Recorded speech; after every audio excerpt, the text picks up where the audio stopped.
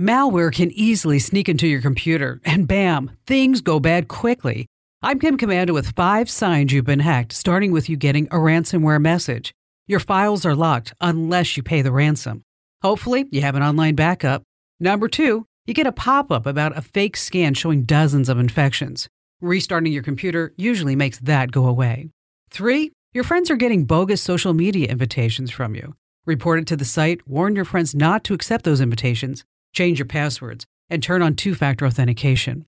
Four, you have new browser toolbars. Remove them in your browser settings. Number five, your mouse is moving all by itself. Now, this telltale sign means someone could be all over your system, and your banking, email, knows every single one of your passwords. You need to reset your computer back to factory defaults and change every password that you use now.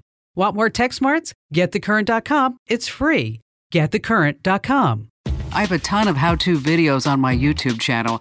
Check them out at youtube.com slash kimkomando.